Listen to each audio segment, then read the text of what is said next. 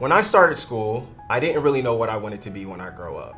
So a lot of students feel that and a lot of students, they really don't know what they want to do when they graduate or they don't even know if college is the best fit for them.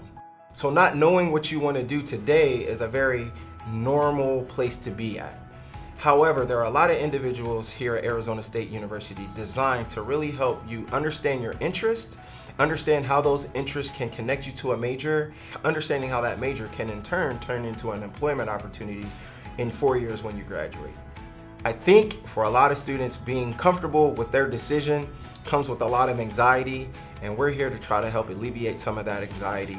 And we do so by giving students a, a lot of one-on-one -on -one interaction, a lot of person-to-person, peer-to-peer interaction, so students always feel supported. We hope to see you in the fall, and thanks again for your interest and participation.